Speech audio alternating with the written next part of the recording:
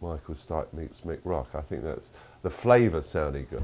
Something of that kind of tawdry, cheap, semi gangster on the run, something, you know, Bogart, this kind of feel. But it's great. He's always looking for locations. What about glasses or contact lenses? Well, I think I'd like to shoot you both ways.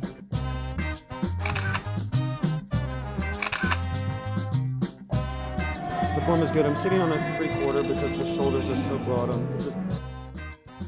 It's very exaggerated.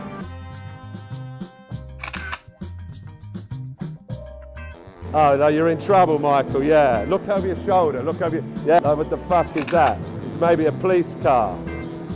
Or maybe a fellow mobster, yes. Ah, to me, to me, shit. Shit.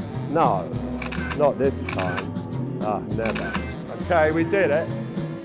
The stumbling and the mistakes and the, you know, the winding, it don't matter as long as you, you've got to get to Jerusalem. Put the hat on again, Michael. Thanks, sir. But I reserve the right to get excited when I take pictures, you know? You could be almost Humphrey Bogart in The Treasure of the Sierra Madre. Get the angle right. Otherwise you could look like... past the absurdity point and become something totally memorable, you know?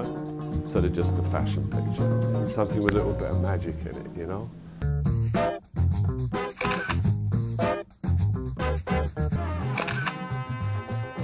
Yes, go for it, Michael. You might have to jump out of the fucking window. Look at me. You roll your head back.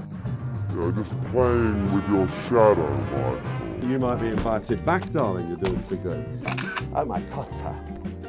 Oh, jolly good. That's the picture we were looking for. The evidence, sir. I want everyone to feel that, you know, that flow of energy. And, and if you give, feel that flow of energy, you're going to have a good time. There's no, um, it's, it's a kind of a musical thing. It's what you get when you get musicians working. You get, it's an energy flow. It's an, ele- it's an electromagnetic flow. That his strength in photographs is to do very little. You get this fabulous stuff happening that does tweak something in the brain, so the brain kind of opens up and elevates a little more. You know it. Oh, yeah. oh. He's a hero of mine, so it was a great pleasure to be able to work with him finally. He's got a pretty intense energy when he shoots, which I guess I would have expected. He's got great ideas. And You were Yeah. wonderful too. Thank you.